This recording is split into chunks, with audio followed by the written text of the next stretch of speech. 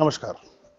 Ashish Mittal again from आर्सल friends this model I have shown you earlier also in video number 103 103 number video में यही model मैंने आपको पहले दिखाया है असेंबली करते हुए। Uh, क्योंकि वो यूनिट गया था दुबई तो उसको हमने नॉकडाउन बनाया था।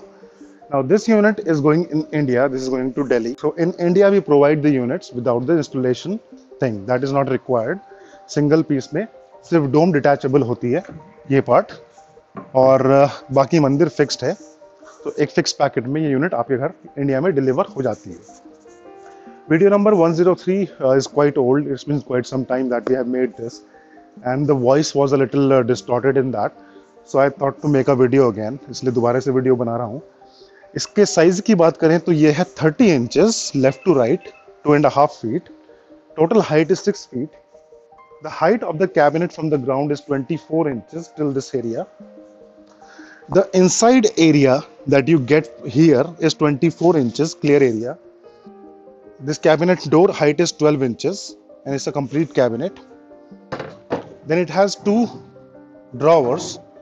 It is 3 inches uh, wide and a diya tray that is in all the units. Diya tray is really good uh, concept because uh, अगर आप अंदर दिया जलाते हैं if you are lighting a diya inside the temple उसके carbon से छत काली हो जाती है मंदिर की तो diya tray is definitely a good thing the wood is teak is in honey finish gloss finish unit का डिज़ाइन आप देख सकते हैं it's a very beautiful design with the carve pillar peacocks here peacock on the top and uh, the side jali is closed from the side.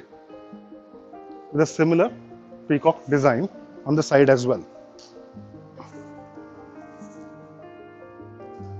A beautifully handcrafted unit in teak wood